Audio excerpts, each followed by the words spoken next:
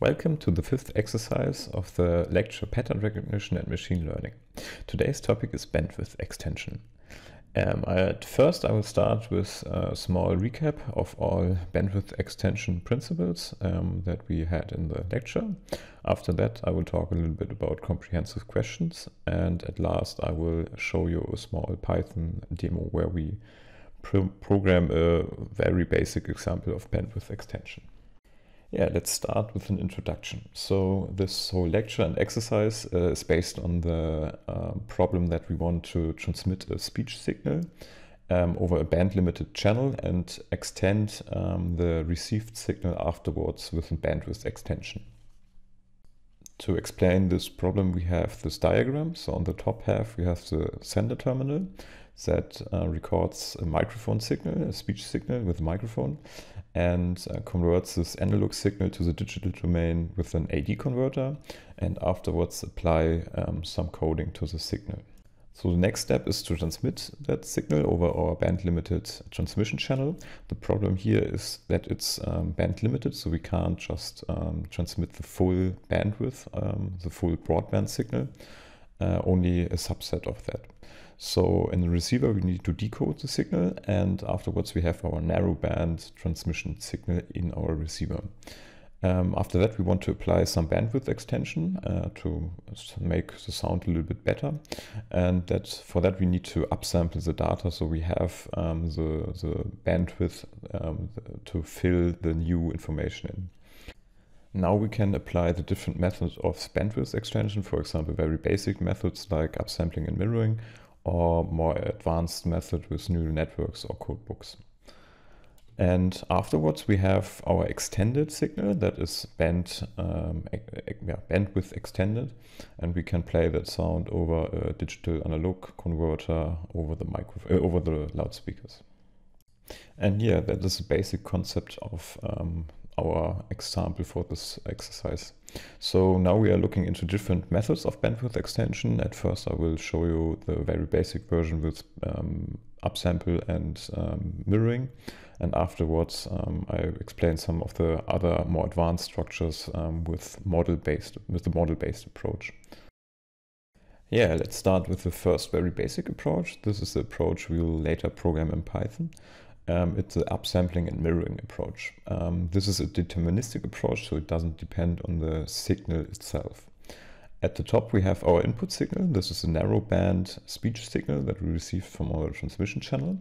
Uh, we name it S tilde tel of n and we want to upsample the data. So we um, just insert, for example, if you want to upsample the data by the factor of two, we just insert um, every second value uh, a zero in our signal. So we have now our um, signal that is double the length of our original signal. And if we look in the spectrogram in it, um, we will see we have aliasing effects. Normally, we would um, uh, remove those aliasing with low pass filter, but in this bandwidth extension method, we especially want to exploit these um, aliasing effects. So now we have our upsampled data version s tilde x of n, and afterwards we need to apply some filter. As the diagram, um, we can write it down as s tilde of tel of n is the upsampled version by the factor of r, and um, this gives us the signal s tilde x of n, and um, we filter that signal as tilde x of n with the filter of um, HAI for anti-imaging um, e to the power of j omega. And this filter looks like um, just a basic attenuation filter for the higher frequency part that we added here. So if we look at the spectrogram, we can see that um, from 0 to 4 kilohertz, it's pretty much the same. So the filter coefficients would be uh, 1, and afterwards it declines um, with increasing the frequency. So now we have our signal Sx of n. It's the extended version of our input signal. The more sophisticated versions of bandwidth extension are the model-based um, approaches. For that, I will have to explain the basic model of um, generating speech uh, in a human. So we have um, source part and filter part. In the source part, we generate some sort of a bass tone and excitational signal. And in the filter part, um, we shape this um, excitational signal to a certain sound. Afterwards, we have our normal voice um, that comes of our mouth. So for that, um, we can model this in a, in a um, diagram on the right side. So we have um, two uh, kinds of sounds as an excitational signal. One is based on an impulse generator and the other one of a noise generator. So um, we can uh, shape different kinds of excitational signal by weighting these basic signals with a factor of g of n and 1 minus g of n and add those two kinds of sounds um, together. So that's the source part of our uh, model-based, our source filter model. The other part is the filter part where we multiply a certain amplitude to the signal and filter the signal with a specific vocal tract filter that shapes our excitational signal. So the right part is um, the filter part where we get as an output the real speech signal S of n. Yeah, and we can look at the output spectrum of um, those signals and um, we can classify our speech in two basic uh, units of, of sounds uh, for example, vowels and fricatives. Vowels uh, are, uh, for example, A and E, um, and we see that they are uh, mainly shaped um, as an impulse signal um, with a, spectral envelope on this. The fricatives like F or S um, are pretty much white noise in the as an excitational signal and are um, also shaped with a spectral envelope. And this will be um, important for the next slide where we deconstruct our um, narrowband signal to extend it to our broadband signal. Yeah, this is a basic diagram when we want to extend our bandwidth um, with a model-based approach. Uh, for that we have our narrowband signal as STEL and um, afterwards we have to deconstruct our signal in the basic parts um, as shown before. So we uh, need to deconstruct the signal in means of the source part and the filter part. For that, we need uh, at first to estimate um, the narrowband spectral envelope um, to uh, remove this uh, narrowband spectral envelope from our um, narrowband signal and get our narrowband excitational signal ENB of n. After that, we pretty much have deconstructed our signal in the basic parts. So we have our um, narrowband excitational signal and our narrowband spectral envelope. And afterwards, we have to um, extend these two um, yeah, signals um, in a certain way and um, reconstruct our broadband um, uh, signal afterwards with the inverse predictor filter. So we estimate our narrowband spectral envelope with um, the LPC analysis that you will know from the lectures before. And afterwards we get our coefficients, the P and P of n coefficients that we can feed in our predictor error filter and remove our um, narrowband spectral envelope from our signal. And we do this with um, E and E and B, so the excitational signal of the narrowband signal is STEL minus um, the convolution of um, the P and P coefficients with the STEL um, signal. So afterwards we have our narrowband excitational signal and we can um, extend the signal, um, for example, with a modulation. In this example, it would be E hat BB. So the estimated broadband um, excitational signal would be the um, narrowband excitational signal ENB times 2 times the cosinus of um, omega 0 um, times n. Okay, now we have um, estimated the excitational signal, the broadband excitational signal. Afterwards, we have to estimate the wideband spectral envelope. For this um, estimation, we have different approaches. Um, I will talk to you in the next few slides. But um, if we have this estimation, we can now um, apply our inverse prediction error filter and estimate our um, broadband signal as hat of n. So S hat um, of n is equal to E hat BB of n, so the broadband excitational signal, plus the convolution of our broadband um, spectral envelope, so P BB of I um, of n times our um, previous S hat of n minus I. And yeah, afterwards we have our estimation as head of n, and this signal will be band stop filtered, so we only use the estimated upper part of our frequency and um, we'll use our STEL of n as the lower um, part of our bandwidth. Now let's have a look at two examples for extension of the excitational signal. Um, here we have um, two times the narrowband input uh, signal on the bottom of these two uh, pictures. And we see that it's only from uh, around zero to half of our uh, maximum frequency um, populated. And in the top left, we have an example for modulational based excitational signal extension. So we just flip um, the spectrum to the other side. And on the right side, we have on the top two um, signals, uh, two uh, examples for nonlinear bandwidth extension, where we can see that we don't have, for example, the spectral gap um, in it. So that's a benefit of nonlinear um, excitational signal extension, but we have to keep in mind that we have other problems with nonlinearities. Now we have the first part of our broadband signal, the estimation of the broadband um, excitational signal. The second part is the estimation of the broadband spectral envelope, and we um, can do this in two approaches. In this approach, we use a neural network. For that, we um, extract the predictor coefficients for a narrowband spectral. We get P of NP. And after that, we do a conversion to the cepstral coefficients. Um, after that, we need to normalize um, these cepstral coefficients for our neural network. And um, now a little bit neural network stuff is done, so we don't exactly know what um, there's happening. We trained um, the neural network beforehand, so we um, put uh, cepstral coefficients in it and defined the outputs by means of predictor coefficients so that um, we have a neural network that uh, can do this job on its own. After that, we get um, uh, some values out of it uh, where we need to inverse our normalization that we done beforehand to get the broadband cepstral coefficient out of it. After that, we need to transform these cepstral coefficients to predictor um, coefficients because we need those um, predictor coefficients for our estimation or for our reconstruction of our estimated um, broadband signal. The only problem with neural networks is that we don't really know what we are getting out of it.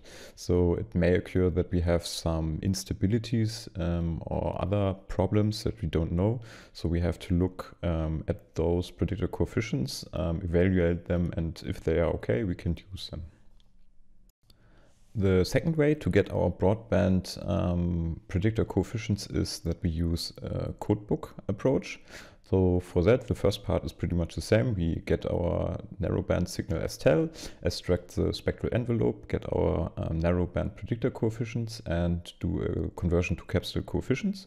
And now we have our narrowband signal as cepstral coefficient. Um, what we now want to do is we want to compare those um, cepstral coefficient of the narrowband signal with um, codebook entries in a um, codebook that has uh, wideband coefficients for that. So we um, compare each of those entries with um, a codebook and um, we get an index out of it, which has the closest distance um, from our um, calculated um, cepstral coefficients to our codebook version of those cepstral coefficients. And this index we can use and um, search another codebook for appropriate predictor coefficients um, that we can use to um, estimate our broadband spectral envelope. And after that, we have our predictor coefficients and can estimate with them our um, broadband uh, signal as head of n. And yeah, that pretty much sums it up. We have all um, our estimates of our um, broadband version of our, ex our excitational signal and of our um, wideband spectral envelope. After that, we can just put those two um, signals in our inverse predictor error filter, get our estimate for S hat. And after that, we use our bandstop filter to only use our estimate version, so the high frequency part of our um, bandwidth extension and add this signal to our original narrowband signal STEL. And after that, we have our finished broadband bandwidth extended signal SX of n. Okay, now we can start with the second part of this exercise, the comprehension questions.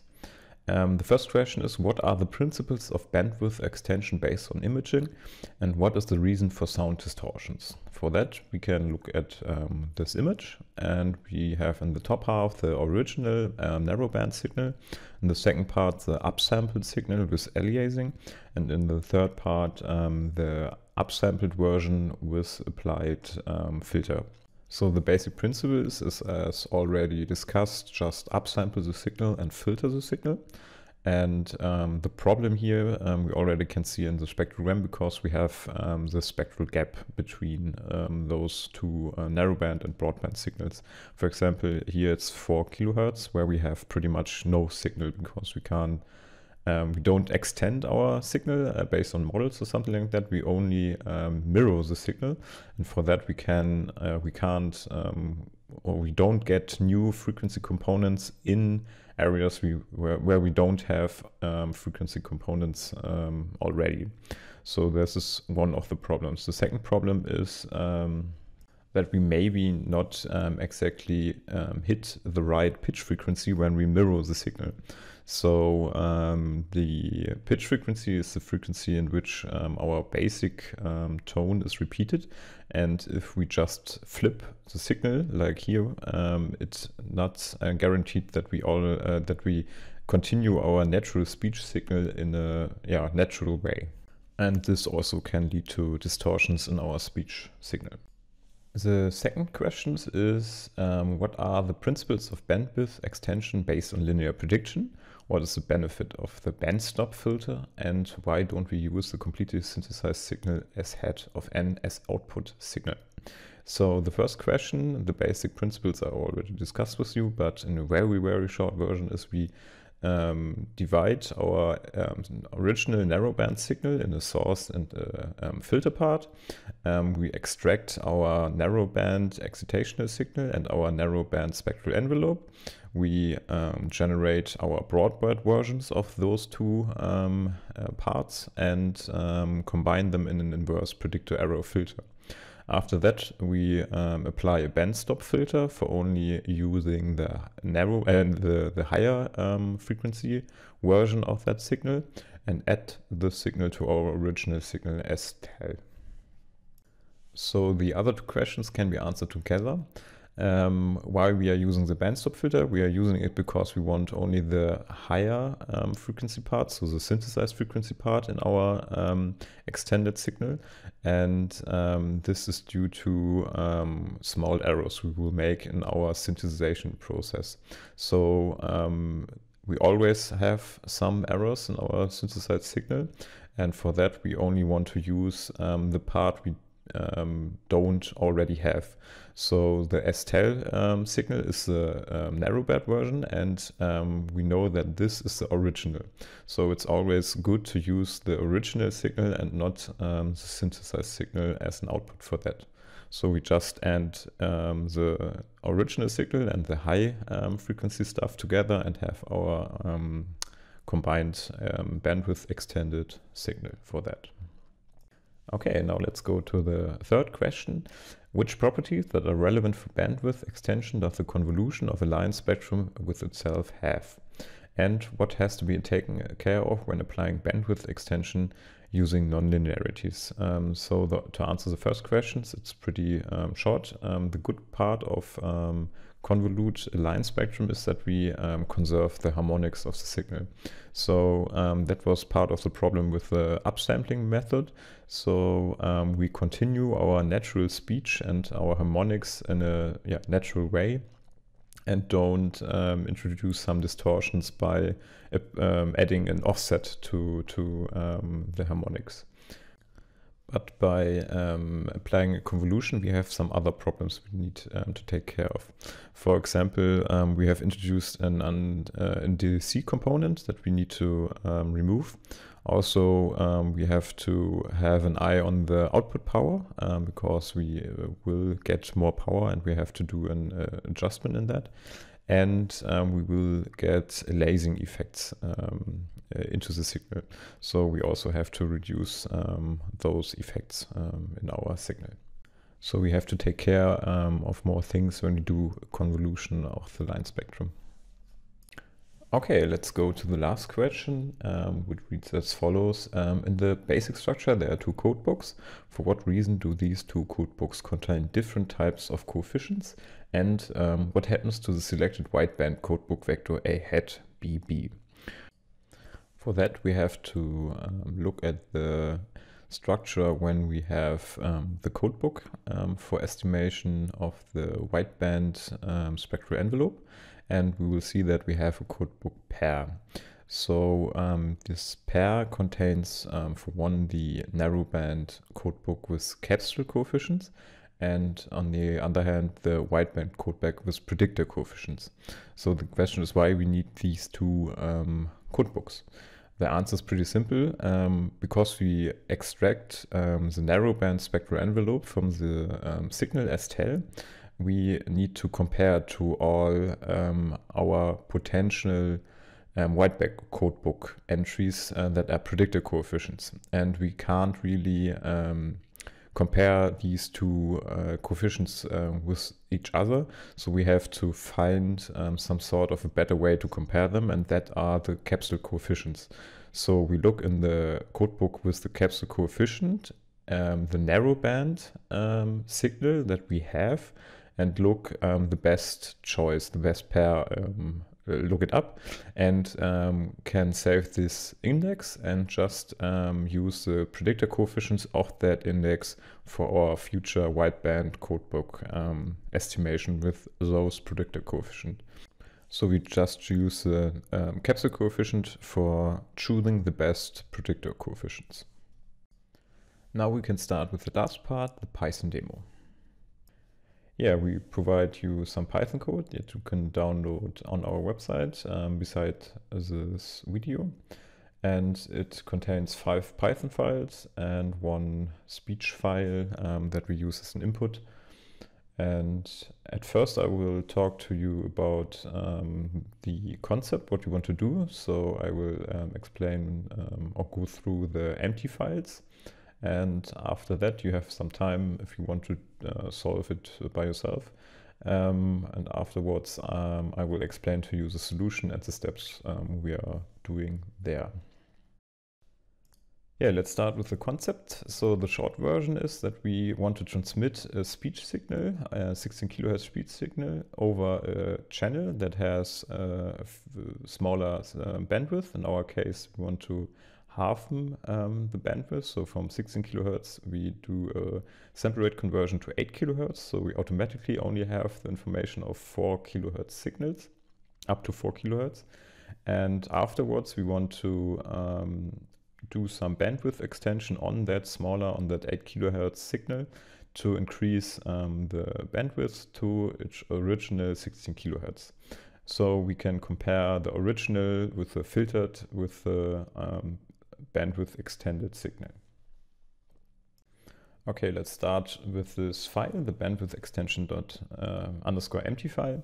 So at first we just read in the um, WAV file. It's a female voice with 16 kilohertz.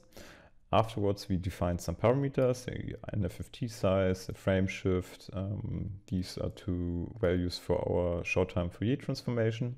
And afterwards, um, the low and the high cutoff frequency of our um, transmission channel. Um, in this case, we um, use a band pass filter for filtering frequencies um, between 300 and 3400 hertz. So only in this range we have uh, useful um, frequency information and all other frequencies will get thrown out. Afterwards, we define also another parameter, the um, narrowband sample rate. So in our channel, we only have half the bandwidth. And for that, um, we only need um, half of the sample rate. We could just say it's okay that we use um, the 16 kilohertz, but um, the sense of the smaller um, bandwidth is essentially the smaller sample rate.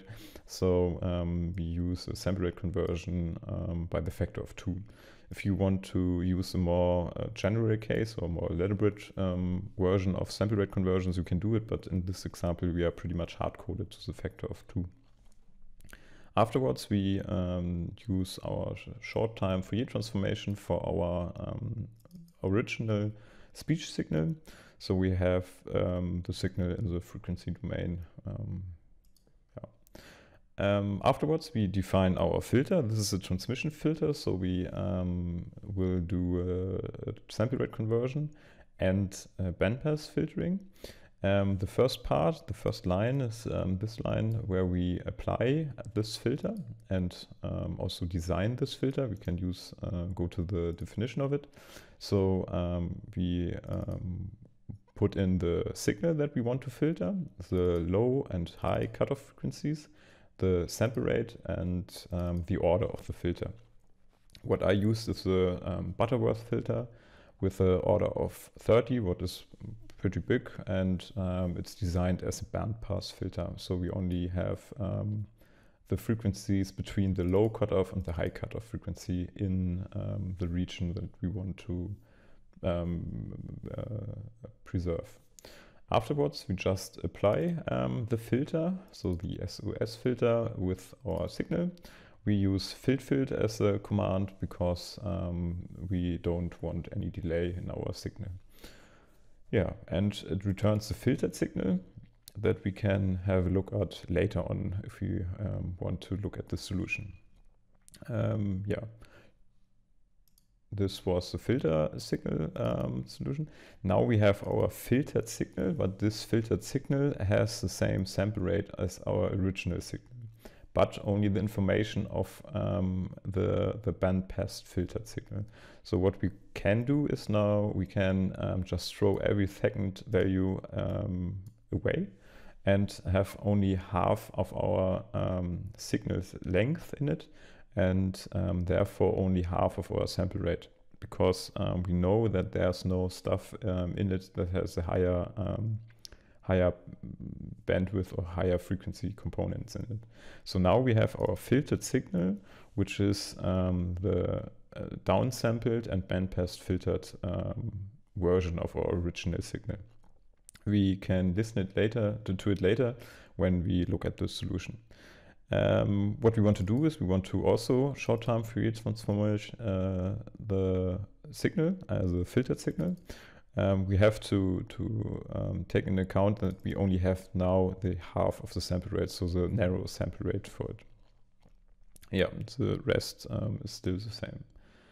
Afterwards, um, we want uh, to use the upsampling with images approach, and therefore I've written an, an empty file um, that's now your part to fill.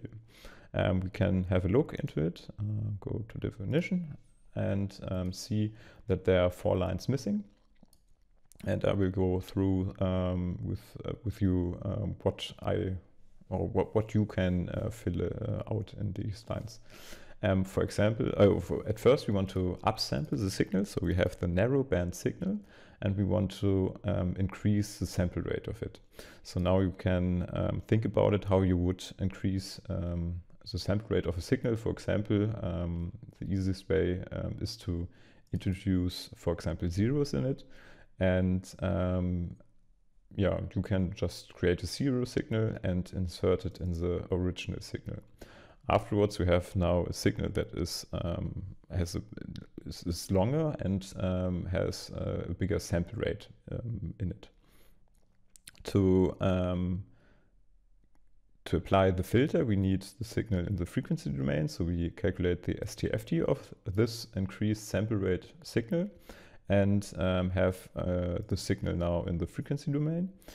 And after that, we want to apply a filter. You can imagine we have now upsampled the signal. And when we upsample the signal with, by, by inserting zeros in it, we have uh, lasing effects. So we have um, the um, the, uh, the, the, spectrum mirrored around um, the highest frequency.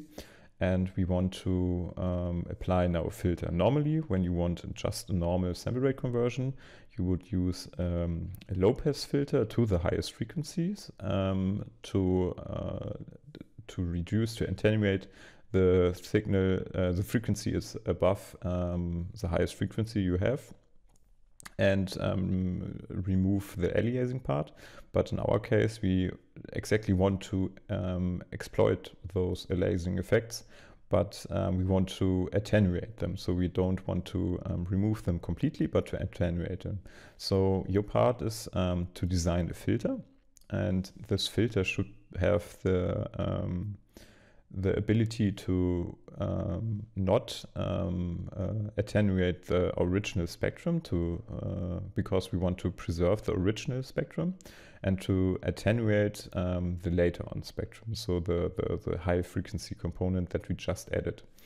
Um, I just used um, for example um, once to half of the new higher sample rate and um, a, a, linear decline after that to a factor, I think from 1 to 0 0.2, something like that. Those are values you can um, play around with later on. And afterwards, you need to apply this filter to your complex um, uh, complex frequency signal. And um, afterwards, we want to do an uh, inverse short time Fourier transformation to get the time domain signal. So your part is to create um, a signal that's um, uh, zeros inserted in the um, narrowband signal. Afterwards, design a filter that is um, to half of the sample rate, uh, or to half of the highest frequencies um, uh, one, and afterwards decline um, with, for example, a linear descent and um, at last um, multiply or apply the filter by multiplying the filter with the complex frequency um, domain signal. And this should pretty much sum it up. So now you can have, uh, now, now you can do it by yourself. Yeah, let's have a look at the solution. So I opened the bandwidth extension solution file and this file is pretty much the same file as the empty file um, except we are using a different function. So instead of the empty um, function, we are using the upsampling solution function. And we can have a look in this function. Um, here sh you should have um, added four lines, I think. Those two in the top, um, I think the design of the filter and the uh, application of this filter. So yeah, we can start at the top. In this function, we want to upsample the signal. For upsampling a signal, we just introduce zeros to the signal. And um, in our case, we want to upsample the signal by the factor of two. So we need um, as many zeros as the length of our signal. So we have um, this uh, zero signal that has the same length. Afterwards, we want to um, invert um, the zeros at every second place in our original signal. So we just inserted um, this, this numpy function insert, where we can insert two um, vectors um, after each other. So each element um, gets uh, uh, yeah, inserted in each other. So we have um, a normal value, then a zero, a value from our signal, then a zero, and so on. Afterwards, we have um, now our upsampled signal. Um, this signal has um, the doubles the length of our original signal, and we want to do a short-time Fourier transformation of that signal. And um, we have now the broadband signal in the frequency domain. Now we come to the filter part. Um, we know that when we upsample the signal with um, inserting zeros, we have aliasing effects. So that means that we um, mirrored or flipped the um, spectrum um, in its highest frequency, around its highest frequency. And normally we would uh, apply a low pass filter, but we don't want to use, or we want to apply a, a low pass filter in our case now. So what we want to do is we want to um, apply a filter that is um, one from zero to half of our new sample rate, or from zero to half of our, um, our frequency range and um, decline afterwards um, with some factor, with some linear factor. Um, I designed it in, in this case that we um, pretty much um, create a filter that is only once over the whole um, frequency spectrum. And afterwards, I set just a, a, linear descent um, that starts at, the, uh, at 1. So we um, start at the same value and goes down to 0 0.1. So um, we decline um, with increasing in frequency um, from 1 to 0 0.1. We will later have a look and visualize this filter um, for um, that you can imagine uh, better what uh, we are doing here. And afterwards, um, this is the easiest part, we just multiply the filter with all of our um, short-time Fourier transformated um, spectrums and um, have our filtered signal. And the last part is that we um, inverse this short-time Fourier transformation and get our time domain signal. Okay, let's have a look again at um, our solution file. Now we have the upsampled version of our signal and the filter. And um, afterwards we just can um, again um, calculate the short-time Fourier transformation of the signal. And we do this um, for visualizing um, tasks later. So um, we have now our complex version here for visualizing we write um, our created signal, so our narrowband signal with 8 kilohertz sample rate and our um, extended 16 um, kilohertz signal. Um, and afterwards there's some plotting going on, so the original signal, the filtered signal, the upsampled signal and the filter. Now we can run um, this whole um, Python code and we have some nice pictures. let's start with the first one. So this is the spectrum of the original signal. We can see that it's from 0 to 8 kilohertz because we have a 16 kilohertz signal and it's about 4 seconds long. We have um, the whole spectrum in it and um, yeah, um, we can already see it's probably something like speech because it has um, those harmonics in it. Um, the second uh, plot we have is a narrowband signal. So it's filtered um, with the bandpass filter from 300 to 3.4 um, kilohertz. And we can see it here as well. So it's um, filtered and downsampled. Uh, so our signal um, is, has components in it from 0 to 4 kilohertz and not the 8 kilohertz as before. So we downsampled the signal um, by half and um, only have components um, from 300 hertz to 3. Point, yeah, maybe maybe 3.5 um, kilohertz in it. But um, the rest of the signal is pretty much the same in it. Afterwards, we upsampled the data. Um, this is shown here. So we upsampled the data and filtered the data. Um, so we can see that this um, bandwidth extended signal has again the bandwidth from 0 to 8 kilohertz as our original signal. And um, we can see that we flipped the signal around the 4 kilohertz line. Watch what uh, exactly what we are doing with uh, bandwidth extension. What we also can see is that um, it's not exactly flipped. We also applied a filter and you can see that these parts um, are um, higher than the parts in the highest frequency, um, what we would um, get if you only applied this once.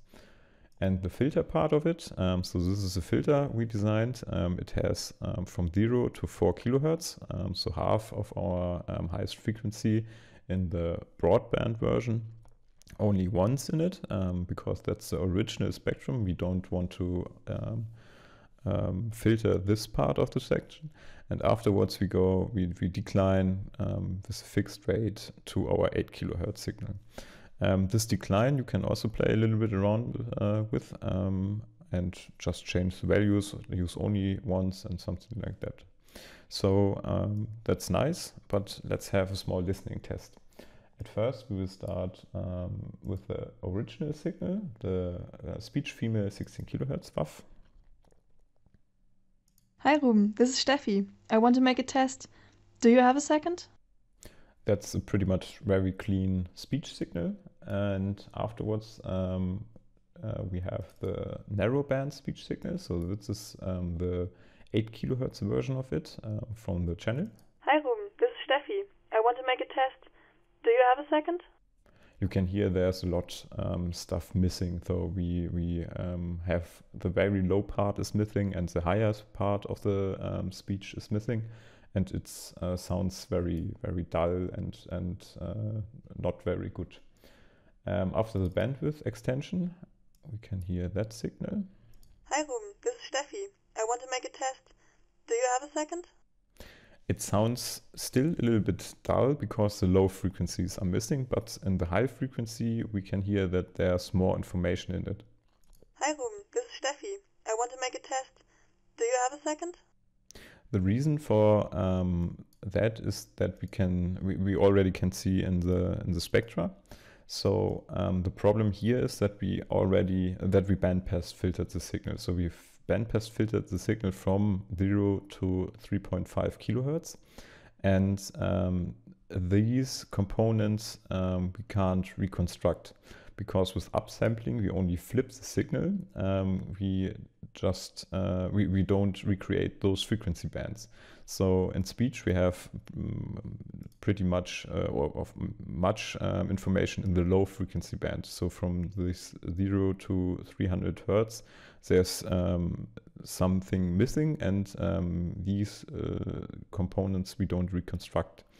So this is a big part why the um, the the upsampled version still doesn't sound very good. Um, yeah, what you can do um, is you can play around with these um, cutoff frequencies in this part. For example, you can lower these um, uh, low cutoff frequency to uh, I don't know 100 hertz or even lower, and um, listen to the results afterwards. Yeah, this sums up this exercise. Have a nice day.